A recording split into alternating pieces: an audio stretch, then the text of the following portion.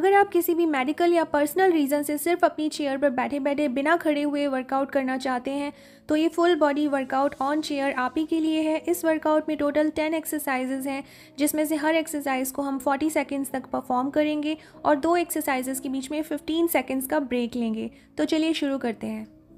High यहाँ पे सबसे इंपॉर्टेंट जो बात आपको ध्यान रखनी है, ये कि आपको राउंड बैक नहीं रखना है। आपको अपनी बैक को बिल्कुल स्ट्रेट रखना है चेस्ट आउट और स्टमक इन करके रखना है। इसी पोजीशन में आपको सभी एक्सरसाइजेस परफॉर्म करनी है।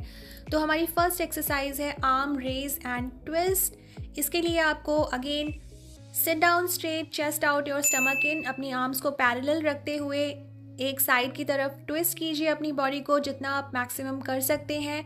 एक सेकेंड के लिए होल्ड कीजिए and then again use switch side most importantly use full range of motion जितना ज़्यादा आप ट्विस्ट कर सकते हैं, उतना ट्विस्ट कीजिए और जितना ऊपर आप अपने हाथों को उठा सकते हैं, उतना उठाइए। एंड कीप गोइंग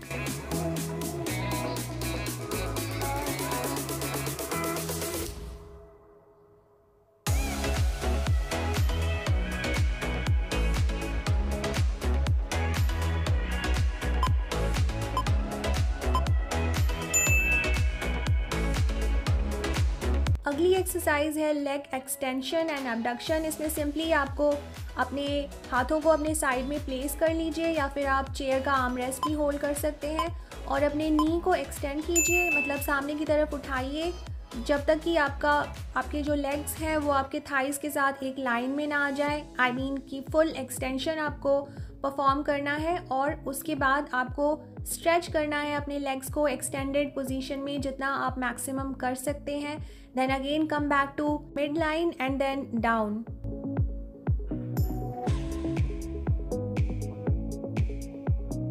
फिर से मैं एक बार याद दिला दूँ आपको कि अपनी बैक को स्ट्रेट रखना बिल्कुल भी मत भूलिएगा। नो राउंडिंग हियर अपने चेस्ट को आउट रखिए और अपने स्टमक को इन रख के अप, अपने बॉडी को आपको बिल्कुल एग्जैक्टली अपराइट पोजिशन में ही रखना है। नेक्स्ट एक्सरसाइज है हमारी प्रेसअप्स यहाँ पे आपको अपने हाथों को अपने हिप्स के साइड में प्लेस करना है। आप अपना सीट भी होल्ड कर सकते हैं। और जिस तरह से मैंने होल्ड किया हुआ है आपको उसी तरह से होल्ड करना है। अपने फिंगर्स को बाहर की तरफ़ रखते हुए। क्योंकि थोड़ा कुशन होगा अगर आपकी चेयर में तो अगर अगर आप अपने हाथों को अपने साइड में रखेंगे फिंगर सामने की तरफ़ पॉइंट करते हुए तो आपको रिस्ट में पेन हो सकता है, इसलिए अपने हाथ को वैसे ही रखिए जैसे मैंने रखा है। यहाँ से सिर्फ़ आपको, आपके एल्बो में जो बैंड है, उसे एलिमिनेट करना है मतलब अपने आर्म को स्ट्रेट करना है और अपने हिप्स को थोड़ा सा अपनी सीट से ऊपर उठाने की कोशिश कीजिए और एक सेकेंड के लिए पॉज कीजिए प्रेस पोजिशन में और उसके बाद धीरे से दोबारा रिलीज़ कर दीजिए। ये एक्सरसाइज बेसिकली आपके शोल्डर्स और ट्राइसेप्स को बहुत अच्छी तरह से टारगेट करेगी। प्रोवाइडेड कि जिस तरह से मैंने आपको बताया है आप उसी तरह से फॉलो करें। So the next exercise is seated oblique crunch यहाँ पे आपको जिस तरह से हम मैट पे ऑब्लिक क्रंचेस करते हैं बाइसाइकिल क्रंच तो एग्जैक्टली exactly वही सेम एक्सरसाइज आपको अपनी चेयर पे परफॉर्म करनी है। सो so अपने हाथों को अपने आ, सर के पीछे रख लीजिए। और अपने एल्बो को एम कीजिए अपने ऑपोजिट साइड के नी की तरफ़। यहाँ पे की पॉइंट ये है कि आपको अपने आप बॉडी को ट्विस्ट करना बिल्कुल भी नहीं भूलना है। सिर्फ़ अपने एल्बो को मत झुकाइए अपने नी की तरफ़। Rotate your body and then you touch your elbow to your knee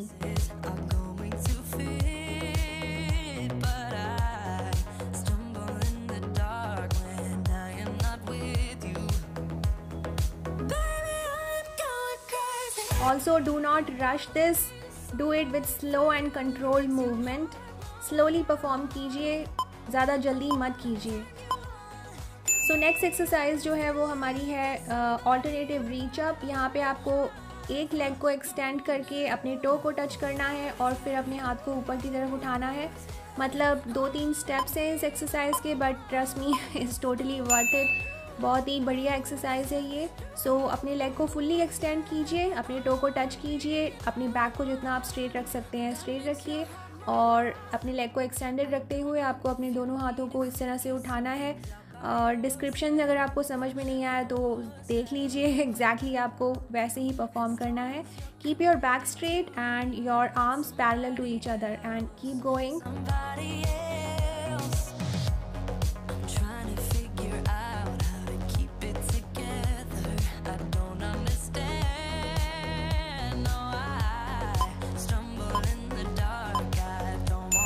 अगली एक्सरसाइज है हमारी साइड बैंड यहाँ पे मोस्ट इम्पॉर्टेंटली अगेन आपको अपराइट पोजीशन में रहना है। Keep your chest out stomach in और अपने हाथों को अपने पीछे की तरफ़ सिक्योर कर लीजिए, सर के पीछे। एंड साइड टू साइड आपको बैंड करना है। याद रखिए, यहाँ पे आपका जो एल्बो है, जो ऊपर वाला एल्बो वो बिल्कुल ऊपर की तरफ़ पॉइंट करना चाहिए। मतलब आपको उसे सामने की तरफ़ पॉइंट करके स्लाउज नहीं करना है। सो so, आपकी ऊपर वाली एल्बो जो है वो बिल्कुल सीलिंग की तरफ़ पॉइंट करेगी। इस तरह से आपको ये साइड बैंड्स परफॉर्म करने हैं।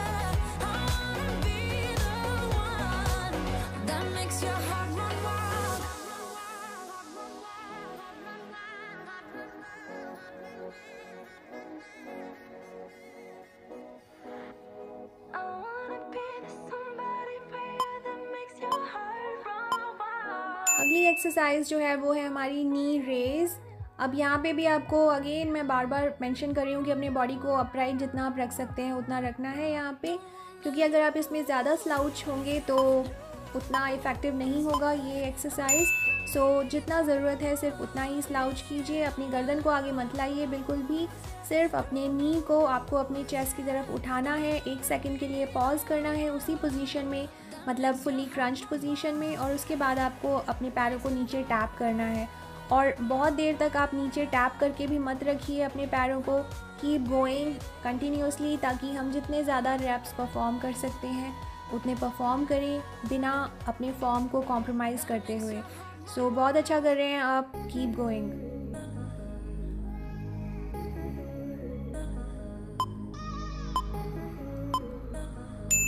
नेक्स्ट एक्सरसाइज है हमारी बेंट ओवर फ्लाई ये आपके बैक एरिया को बहुत अच्छे तरीके से टारगेट करेगी. सो so, इसमें थोड़ा सा आगे शिफ्ट हो जाइए अपनी चेयर से ताकि आपको रूम मिले आपके हाथों को. आपके थाइज़ जो हैं वो 50 परसेंट फ्री हो सो so दैट आपके हाथों को मूव करने के लिए रूम मिलना चाहिए. सो so, अपने पाम्स को पहले नीचे की तरफ़ पॉइंट कीजिए अपने फिंगर को और स्ट्रेट आप जितना आप मैक्सिमम ऊपर उठा सकते हैं. उतना उठाइए और वहाँ पे एक सेकंड के लिए पॉज करना बिल्कुल भी मत भूलिएगा। So hold that full contraction in your back muscles और उसके बाद नीचे आइए एंड कीप गोइंग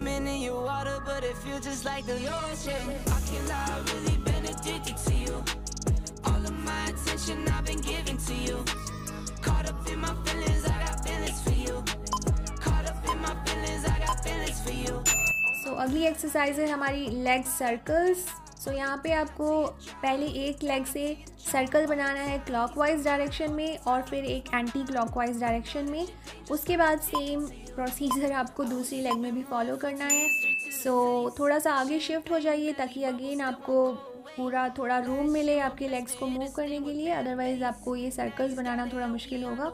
So, एक बार क्लॉकवाइज एक बार anti clockwise and then the next leg again एक बार क्लॉकवाइज और एक बार एंटी क्लॉकवाइज सो बहुत अच्छी तरह से मैं सर्कल्स नहीं बना पा रही हूँ बट आप कोशिश कीजिए आप बेटर बना पाएँ तो. And keep going mainly main हमारा जो मकसद है वो यहाँ पे आपके जो क्वाड्रिसेप्स हैं आपके थाई मसल्स उनको इंगेज करके रखना. So keep going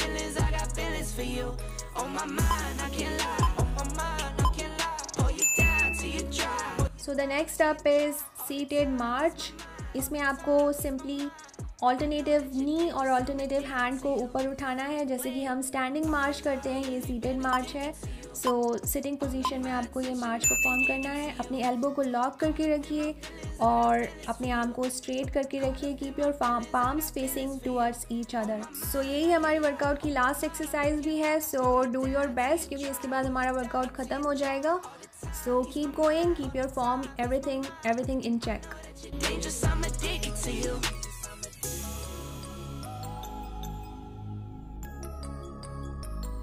so I hope आपने बैठे बैठे काफ़ी कैलोरीज बर्न की होंगी और आपको अच्छा लगा होगा। अगर ऐसा है तो प्लीज़ इस वीडियो को लाइक करना मत भूलिएगा। चैनल को अभी तक अगर आपने सब्सक्राइब नहीं किया है तो प्लीज़ सब्सक्राइब कर लीजिए, ताकि आने वाला कोई भी फिटनेस से रिलेटेड वीडियो आप मेरे साथ मिस ना करें।